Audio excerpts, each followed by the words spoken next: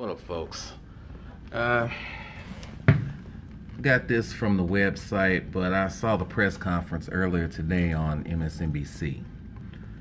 City of Louisville settles civil suit with Breonna Taylor's family for $12 million. Which is good. Don't get me wrong, that's a good thing. Glad the city of Louisville did the right thing. And um, said the deal includes 12 million for the family and also several police reforms, including hiring social workers, new drug testing rules, and incentive for officers to live in low-income neighborhoods, and a new level of scrutiny over search warrants. All that's well and good, but there were some things I noticed that kind of made me raise my eyebrows. Mayor Greg Fischer announced the changes at a press conference Tuesday with Taylor's family, attorneys Lonita Baker and Ben Crump, and representatives from the ACLU of Kentucky and Until Freedom. All right. Baker said they would not negotiate a civil settlement unless it came with police forms. Okay, well and good. But it got me thinking. City of Louisville settled with Breonna's family which is great. But during the press conference, I noticed, you know, the main thing is say her name, say her name, which is fine. But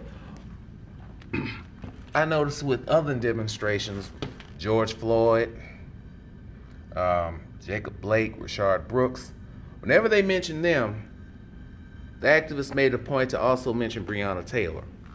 Now, I may not have been listening to all of it. I may have stepped out of the room, but throughout that whole press conference, I did not hear George Floyd's name, Rayshard Brooks' name, or Jacob Blake's name mentioned one damn time. Right? Hey. And then Ben Crump went out of his way to mention Breonna and Sandra Bland, and he had to dig up two or three, four other black women who were tragically killed by police. But you think about it, for every one Breonna Taylor, how many George Floyds out there? For every one Sandra Bland, how many Rayshard Brooks is out there? No. And it got me thinking, when is Atlanta going to settle with Rayshard Brooks's family? I would look to my brother, Black Introvert, any other Atlanta brothers. Personally, I don't think it's going to happen. And here's why.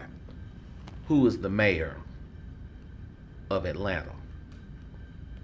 The demographic.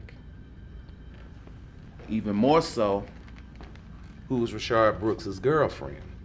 You know, the one who helped tear down that uh, Wendy's. Those two reasons are enough right there. I feel for them not to do it. Because with a certain demographic, when they saw who Rayshard was with, many of their attitude is the nigga had it coming. So, don't hold your breath.